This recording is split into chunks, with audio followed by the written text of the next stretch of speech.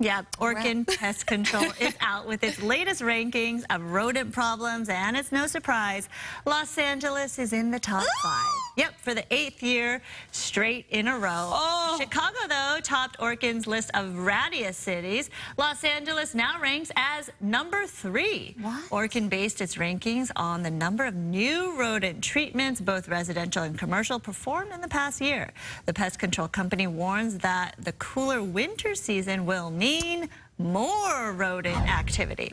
New York and LA switched places in this year's survey of rattiest cities, with New York moving into the number two spot. Washington, D.C. is number four on the list of rattiest cities, with San Francisco coming in at number five. Man,